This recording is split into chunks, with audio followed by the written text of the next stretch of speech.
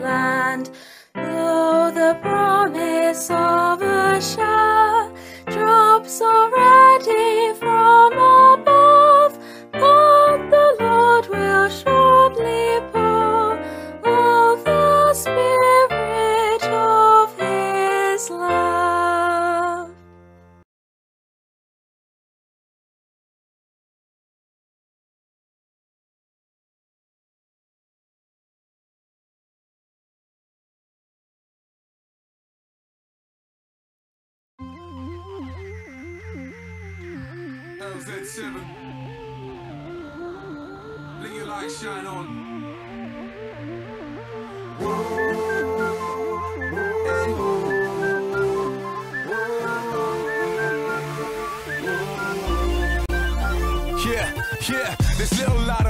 I'm gonna let it shine. I'm gonna put it on a stand, I won't give up the fight. I'm gonna stand for courage, I won't be discouraged. Gonna stand in the truth, and that the truth is knowledge. I am blessed, I'm blessed, I'm blessed to have a love like this, like this, like this. Yes, I am a son of the king, I know that I'm accepted. Have a destiny, and I won't be rejected. I want you to feel it, so that is why I say this. I let it out, spit these bars, making God famous. I'ma let it shine, little light of mine. Put the news on a stand, and I won't let it hide. So you can come and ask, and I will tell the truth. Cause my story stands before you, and it's living proof. If he did it for me, then he'll do it for you. He's knocking on the door, so what you gonna do? This little light, a light of mine. I'm gonna let it, let it shine.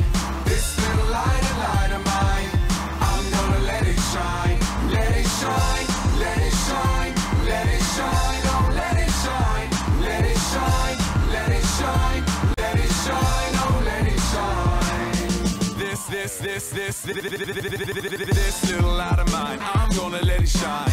Will testify and live my life. Grand design, I believe it. Yeah, you're the reason why. Now I see it. No longer faking, no longer confused. So I give you praise cause I love what you do. Cause you give me something people don't understand. Yep, you know you make me wanna be a better man. So I'm gonna go out and talk to your people. Yes, yes, yes, I'm gonna talk to your people. Give them the chance to get up and to hear the truth. And the truth is, you're the reason why I'm breathing. This little light, light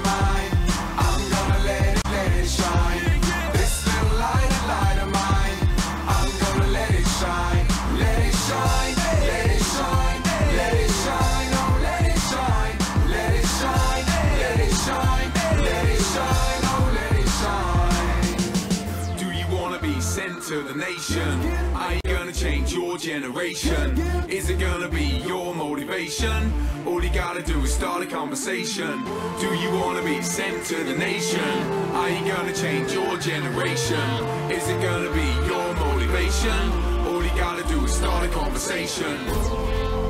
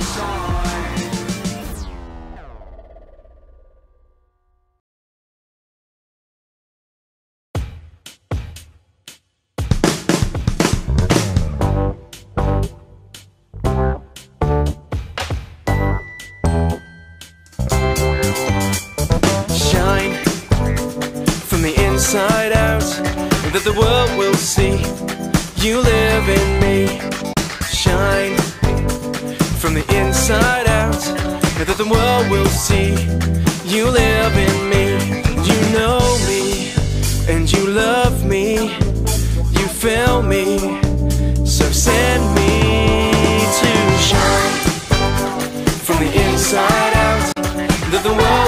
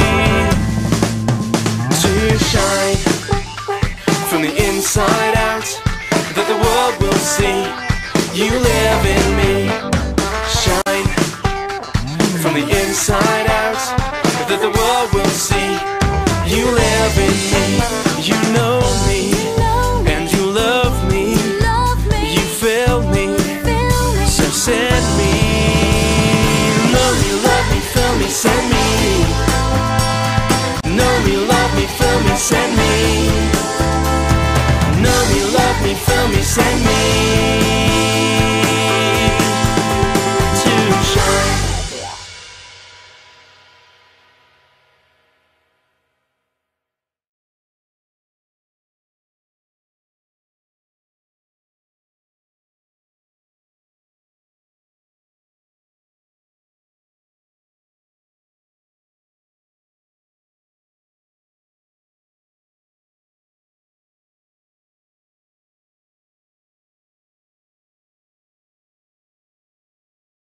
Good morning, it's good to see you. Welcome to worship here today. It's good to have you with us.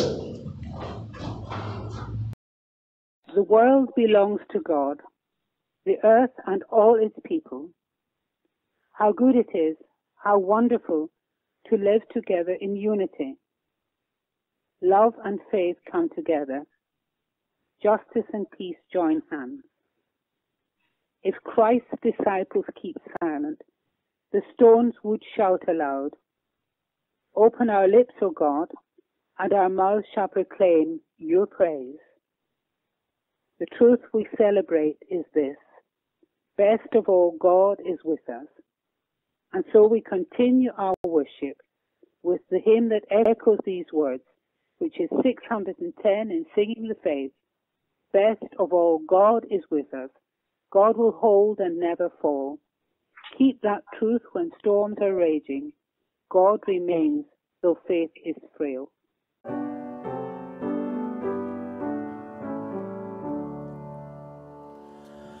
Best of all is God is with us. God will hold and never fail. Keep that truth when storms are raging. God remains though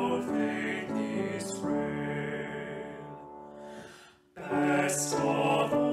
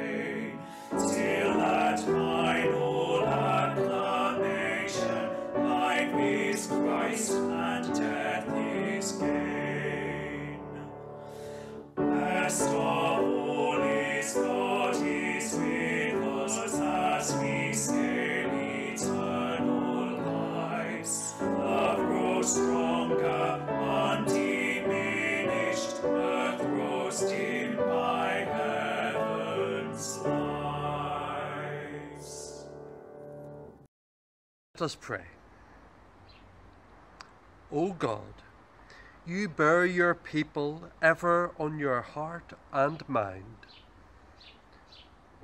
Watch over us in your protecting love, that strengthened by your grace and led continually by your Spirit, we may not miss the way for us, but enter into your glory, made ready for all, in Christ our Lord.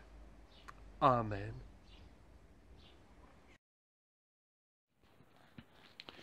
Reading from Luke chapter 11, verses 33 to 36. The light of the body. No one lights a lamp and then hides it or puts it under a bowl. Instead, he puts it on the lampstand so that people may see the light as they come in. Your eyes are like a lamp for the body. When your eyes are sound, your whole body is full of light, but when your eyes are no good, your whole body will be in darkness. Make certain, then, that the light in you is not darkness. If your whole body is full of light, with no part of it in darkness, it will be bright all over, as when a lamp shines on you with its brightness. Amen. Thanks be to God. The reading is from 2 Corinthians verses 5 to 10. You see, we don't go around preaching about ourselves. We preach that Jesus Christ is Lord, and we ourselves are your servants for Jesus' sake. For God, who said, Let there be light in the darkness, has made this light shine in our hearts so we could know the glory of God that is seen in the face of Jesus Christ. We now have this light shining in our hearts, but we ourselves are like fragile clay jars containing this great treasure. This makes it clear that our great power is from God, not from ourselves. We are pressed on every side by troubles, but we are not crushed. We are perplexed, but not driven to despair. We are hunted down, but never abandoned by God. We get knocked down, but we are not destroyed. Through suffering, our bodies continue to share in the death of Jesus, so that the life of Jesus may also be seen in our bodies. This is the word of the Lord. I don't know if I dare mention this among such company, but as a child I used to sing a song, the verses of which are mostly unrepeatable, but the chorus went, My eyes are dim, I cannot see. I drop my specs down the lavatory. I love the idea that without glasses our eyes are dim, not shining as brightly. I imagine the words of the song unwittingly draw on biblical imagery and are not a comment on the mental state of the person. Although poor eyesight, like poor hearing, is often erroneously associated with reduced mental capacity, our readings use the understanding of sight as a way to convey perception, the recognition of truth. In my first circuit, the lighting in one of the chapels was commissioned by a retired local preacher, Sidney Shorter, who was well into his 90s. As his eyesight was failing, he thought improved lighting would enable him to see the preacher more clearly. Unfortunately, as brighter and brighter floodlights were brought in, still to no avail, Sidney's son, Alan, pointed out in a weary voice that no amount of bright light was going to compensate for his dad's failing eyesight. The fact was, Sydney didn't need artificial light to see the radiance of God's Word. And I'm sure the theological implication of that did not pass him by. In our gospel reading, Jesus is reminding his listeners that if they want to live in the light, they have to be able to see the source of the light. But to do that is more than simply seeing Jesus the person, Jesus the preacher, Jesus the healer. To really see the light requires us also to see Jesus the Son of God. Like an icon, Jesus is the face of God, radiating the glory of the Creator. The problem is that so many people are trying to see God with their eyes instead of with their hearts and their minds. They're, they're constantly looking for signs, constantly searching for that elusive something that will convince them. I remember from my childhood uh, an American TV animation of a Christmas carol featuring a character called Mr. Magoo. He was an extremely short sighted old man who, who moved through life narrowly avoiding disasters. The humour was that he, he, he bumbled and mumbled along, oblivious to the, the mayhem around him. I recall Mr. Magoo being an endearing figure.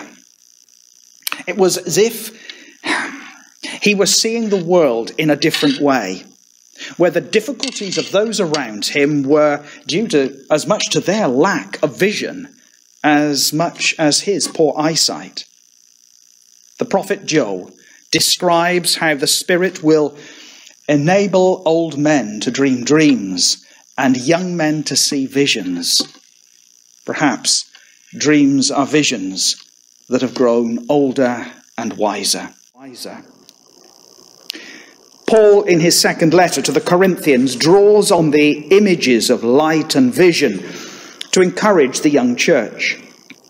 In life, as followers of Jesus Christ, we need to be perceptive to the love and grace of God, especially when we embark on something new, when we are called to leave the familiar and follow where the Spirit leads. Paul reminds us that if we are open to the Spirit of the Lord, we shall be transformed from one degree of glory to another.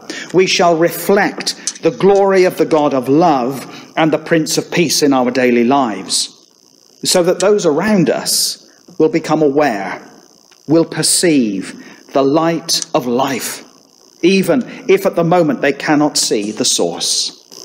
Let me finish with these words from Paul's letter. For it is God who said, Let light shine out of darkness, who has shone in our hearts to give the light of the knowledge of the glory of God in the face of Jesus Christ.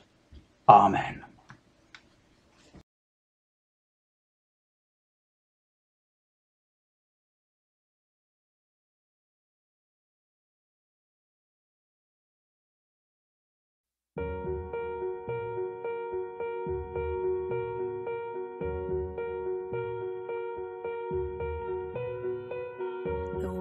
Waits for a miracle.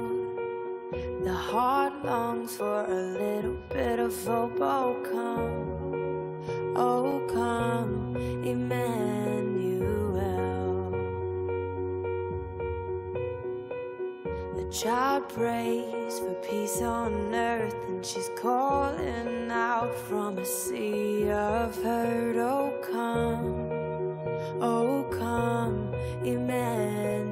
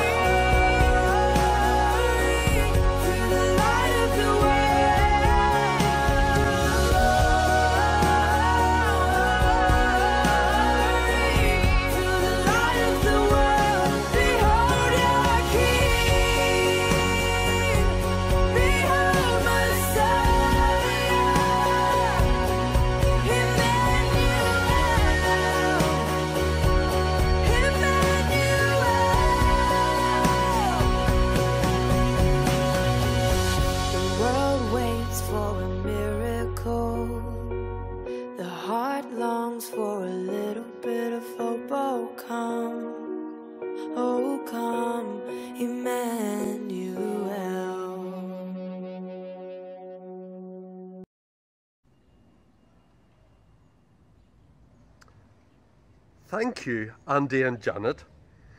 Thank you for all that you have done for us and for being such excellent colleagues.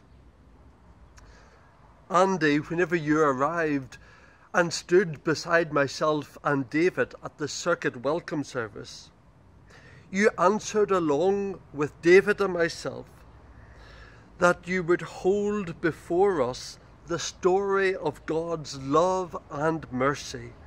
Above all, that you would hold before us the gospel of our Saviour Jesus Christ. Andy, thank you. You have succeeded in doing that. You also were asked, Will you hold before us God's call to holy living and be among us as one who awakens the careless and strengthens the faithful? You answered, Andy, I will. And you have succeeded in doing this. And we thank you and we thank God for his ministry here in you among us. And finally, you answered, Will you hold before us God's commitment to human community, to our neighbourhoods, and all who live within them, and to the world that God has made? Again, Andy, you said that you would and you have. And we thank God for the breadth of your ministry within the church, within our communities, and in this world that God has given us. Go now with the blessing and thanks of the circuit. And we hear from others who wish to say their own thanks from across our circuit.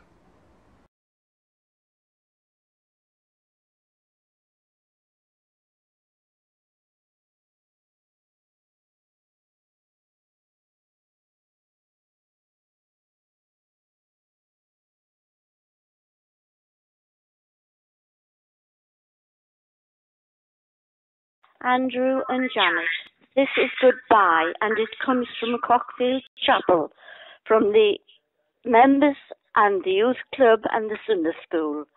We thank you for your ministry that we've shared over the last five years. We will miss you. Keep going forth with God and bless you both. Enjoy Scotland. Goodbye. In your time with us, you have always challenged us to be the best people we can in whatever circumstances we find ourselves, but always delivered in the most pleasant and encouraging way. We cannot say thank you to you, Andy, without including Janet, whom we've enjoyed sharing time with, be it at a service or with a tea towel in her hand. From Windmill, we wish you both all the very best in your future life. We at Hamsterley have enjoyed having Andy and Janet to support us in all that we've done, which they have done in every way, coming to various different meetings and giving us their all. Thank you once again, and may God bless you and have a real happy time up in Scotland. Bye for now. Andy, we thank you for your part in our Christian journey over the past five years. God certainly blessed us with a wonderful superintendent minister. You have guided us with your wisdom, experience, and inspiration. We also thank you, Janet, for all your help and encouragement. When God sent Andy, he also sent you. May the God of love fill you both with joy and peace as you trust in him surrounded with hope and enthusiasm when you head north to take up your new appointment.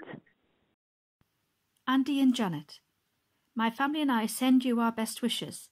It is exciting to move on to a new place, exciting and challenging. God will be with you. We pray that your new churches will be blessed as we were with your commitment, enthusiasm, and presence. God bless. As circuit treasurer, my abiding memory of Andy will be he never ever chased me for his expenses. he left that task to his financial adviser, known to all as Janet. I would like to wish you both every happiness as you move into your new station in Scotland. May God's peace and blessing go with you both. Hello, Andy and Janet. Thank you for being our minister, and thank you for being our friends. We'll miss you. Love from Edwin and Joyce. Hi, Andy and Janet from Newton Aycliffe Methodist Church. We just wanted to say thank you for your care, support, and guidance over the last five years. We've had a number of challenges, not least the amalgamation of the two churches here on the town, and then the closure of Burnhill Way buildings. You were always so calm, but decisive, Andy, and that helped us see a way through the difficulties. We know that all of our members thoroughly enjoyed your services, Andy, with a helpful explanation of the context of Bible passages, and your sermons provided simple messages with stories from your own experiences, reminding us that we are all human with failings and frailties. We both value, on a personal level, the support you provided when we had difficult decisions to make about a number of church issues. You were always at great pains to remind us that we must consider the impact on us personally. So thank you. We will miss you both, but we wish you every happiness in your new home and job. So keep safe and stay well, and please stay in touch. Thank you, Andy. Thanks, Andy. Thanks, Janet. Thank you, Janet. We'll now share our prayers of intercession. Loving God, we come together to pray for the churches of the Bishop Auckland and Shildon Circuit, their congregations and their communities. The past few months have brought us confusion, uncertainty and fear. Because of this seemingly indiscriminate virus, so many aspects of our lives have changed. We haven't been able to meet together in our church buildings. We've missed our church families, the welcoming handshake, the joyful worship and loving fellowship that is such an important part of our lives. Lots of us have been locked down in our homes, separated from our loved ones, probably frustrated at being cooped up, perhaps dependent on others, and possibly lonely. Our normal lives may seem a thing of the past. As we pray to you, you, we ask you to comfort members of our communities who are suffering as a result of the virus, those who are ill or recovering, those who are particularly vulnerable and their carers, those who have lost loved ones, whose lives can never be the same again. In a few moments of silence, we bring to you the names of all those we know who are particularly in need of your love and compassion at this time.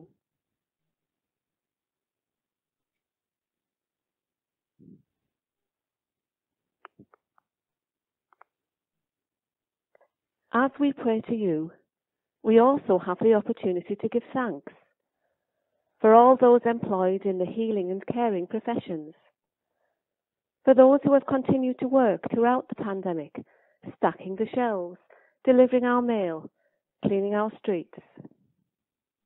We are so grateful to those offering pastoral care via phone or social media, for volunteers and fundraisers who ensure that charities and local initiatives can continue to support those in need within our communities. We also give thanks to our ministers and preachers for giving us so many opportunities to participate in online worship and reflection. Loving God, we look forward to the time when once again we are able to meet in person, worshipping and witnessing together in our churches in and love. And as we all look to the future, we continue to put our trust in you, knowing that our fears will be calmed as you hold us in your loving arms, bringing us peace, strength, and hope. Amen. Heavenly Father, in our prayers for the nation, we pray for the people affected by the pandemic especially remembering those parts of the country where lockdown has been imposed again because of resurgence of the virus. We pray for those people whose normal family and work and leisure activities are disrupted because they have been unable to travel around the country. In our prayers for the bereaved, we remember those who have lost loved ones but feel they are unable to grieve properly because they have not attended a funeral. Let them feel your comforting arm around them and grant them peace. In our prayers for the Christian Church, we give thanks for the technology which has allowed many people to worship together, even though they are far apart.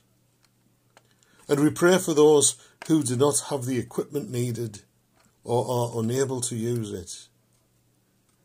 Remind them that you are with them, even if their act of worship is in isolation.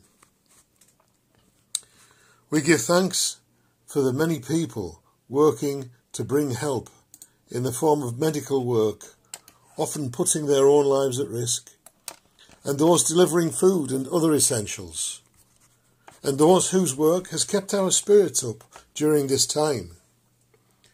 And we give thanks for those working to find a vaccine to control the virus and hopefully bring an end to the pandemic. Give them strength and determination to carry on with their work, serving their neighbours in many different ways. Amen. Let us now pray for our world. Loving Father, we pray for your world, a world in such turmoil.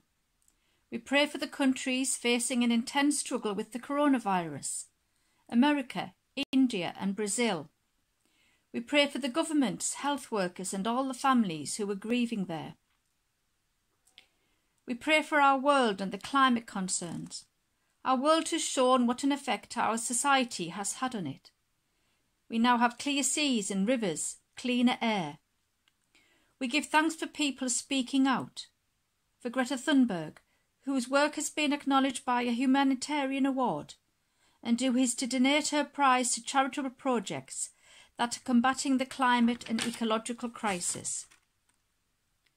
We pray for tensions between nations, the questions raised by the report into the Russian involvement in the UK. We pray for the tensions between China and other countries. We pray for the UK's next step into the world, moving into a post Brexit era. We pray for all those in our government working towards securing trade deals. We pray for businesses working out how to move forward not only with the economic effect of coronavirus, but moving into an unknown future. Loving Father, we offer up these prayers. Our Creator God, we put our concerns into your hands, knowing and trusting in your love and care. Amen. We now join together in the Lord's Prayer. Our Father in heaven, hallowed be your name. Your kingdom come, your will be done, on earth as in heaven. Give us today our daily bread. Forgive us our sins as we forgive those who sin against us Save us from the time of trial and deliver us from evil. The kingdom, the power, and the glory are yours now and forever. Amen.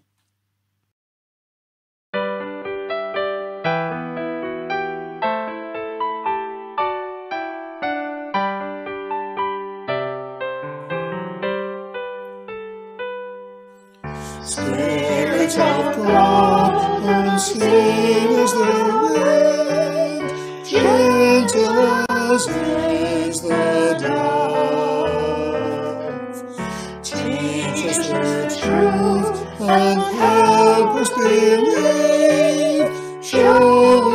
Savior's love. You spoke to us long,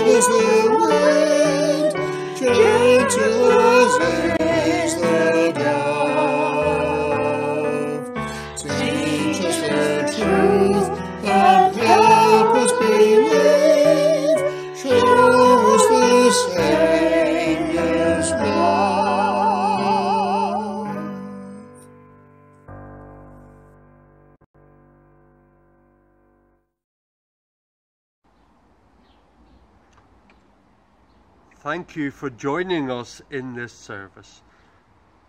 We finish with a couple of blessings.